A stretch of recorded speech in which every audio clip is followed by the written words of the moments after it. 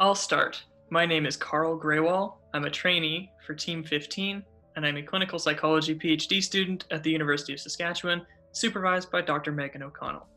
My research primarily focuses on individualized interventions for people living with dementia that are non pharmacologic in nature.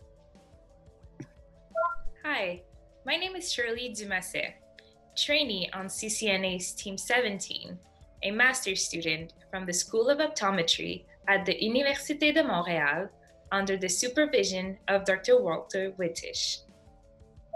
Hi everyone, my name is Gabrielle Aubin. I am currently a trainee with Team 17. I am also a first year PhD student in clinical neuropsychology at the Université de Montréal. I am supervised by Dr. Walter Wittich and Dr. Natalie Phillips. My name is Dr. Megan O'Connell. I'm a clinical psychologist and professor of psychology at the University of Saskatchewan.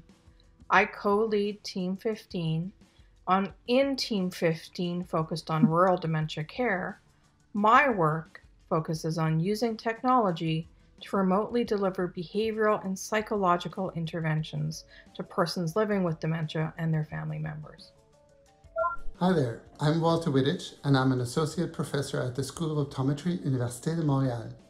Together with Natalie Phillips, I'm co-lead of Team 17 of the Canadian Consortium on Neurodegeneration and Aging and I specialize in working with older adults that have vision, hearing, and cognitive impairments. Hi, I'm Natalie Phillips. I'm a professor in the Department of Psychology at Concordia University. Within the CCNA, I'm the Associate Scientific Director, and I also lead, along with Walter Wittich, Team 17. That's our sensory cognitive team.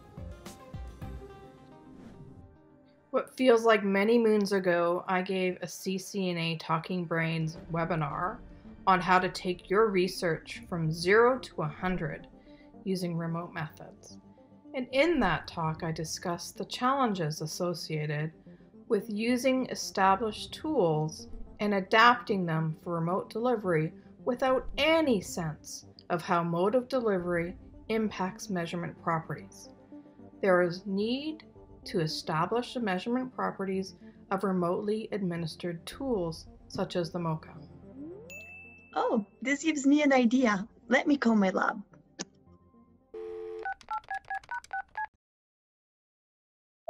Hi. Um, do you remember when we tested people with low vision over the past year and we went to their homes and we administered the MoCA? I was thinking maybe we could retest them over the phone this time. Great. We should team up with Team 15. I like it. Let's do it, ladies.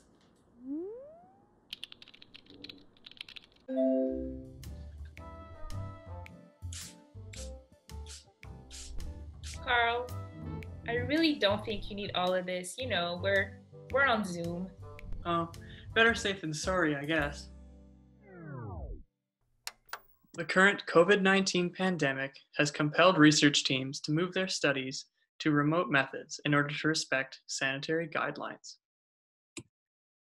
However, many of the tests administered in such circumstances have not been validated yet to be used remotely. Furthermore, with cognitive screening tools such as the Montreal Cognitive Assessment, or MoCA, it is crucial to ensure the measure of cognitive functions is unaffected by the sensory abilities of patients or other factors. The valid and reliable telephone administration of the MoCA has been reported in these various populations. You're right, Carl. There are validated versions of a telephone administered MoCA. However, those have been validated for populations that have vascular MCI and mild stroke. And in this case, we're talking about older adults who have significantly low vision, may have a number of important characteristics that make them a unique sample. Therefore, I think it's really important that we validate a telephone administered MoCA for that group as well. And this is where we come in. There is currently a validated version of the MoCA for visually impaired in person administration, the MoCA Blind where the visual items are removed.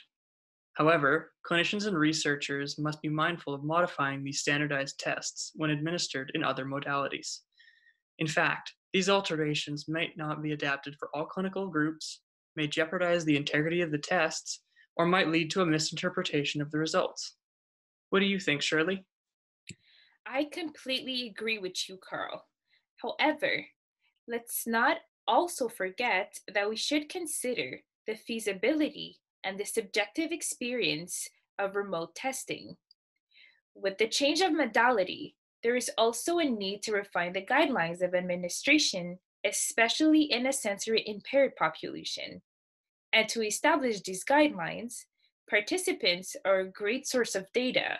However, it is also important not to neglect the perspective of the test administrators. Therefore, performing qualitative data collection from a phenomenological approach, both from the perspectives of the participants as well as the test administrators, is critical because the validity of the test is only as good as its administration and its reception. Taking into account all of the information mentioned here, our first objective is to determine the test-retest variability of the MoCA blind when administered over the phone compared to in-person. The second objective is to identify the facilitators and the barriers of conducting research over the phone from both the perspective of the research participants and the test administrators. This project will use a test-retest methodology. At time one, participants were tested in person in their homes in 2019 and 2020. At time two, because of COVID 19, it was impossible to test the participants in their homes, and we decided to use a remote approach. They will be tested over the phone for the retest, starting in October 2020. For time one, all the measures you see on the screen were part of a much bigger research project that is currently ongoing in our research lab. The measures in orange, so the MoCA blind and the demographic questionnaires, are the one we will be using in our current remote protocol.